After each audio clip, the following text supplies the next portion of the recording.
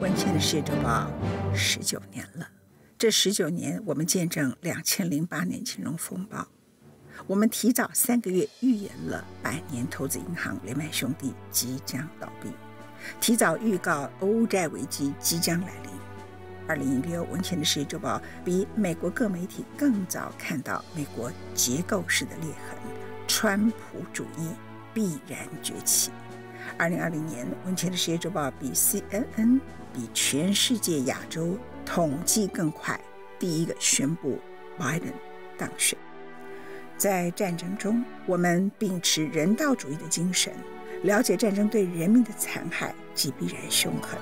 我们从不摇旗，也不呐喊，只狠狠地且坚定地站在人的角度报道战争。我们比多数人更早看到乌克兰被盟友逼上谈判桌的可能性。我们更从不愿意因为收视率危言耸听我们的故乡台海危机狼来了。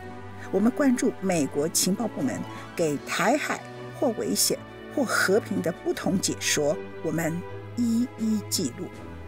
守住灯塔或许是一件孤独的事，但漂流海上的人们需要看到灯。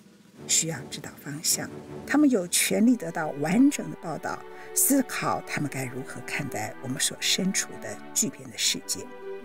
全球正走向下一步我们不熟悉的贸易模式，美国正成为一个各种价值皆对立的国家，而处于美中贸易冲突下的中国正处在四十年来最深的经济危机，所有的经济数据都在下滑。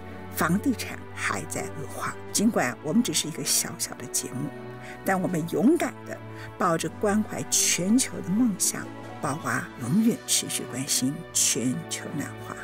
十九年来，我们的节目坚守岗位，希望不负各位观众朋友的期待，让我们携手迈向第二十年。